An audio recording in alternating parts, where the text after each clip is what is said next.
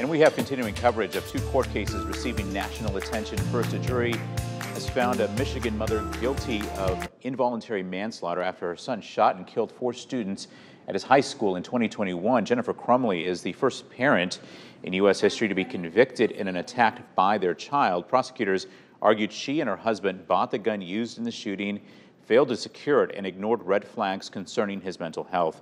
Crumbley took the stand in her own defense, saying she would not have done anything differently. That was the hardest thing I had to, to stomach is that my child har- harmed and killed other people. I wish he would have killed us instead.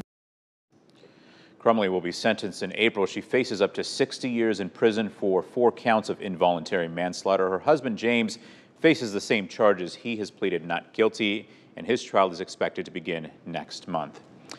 And a U.S.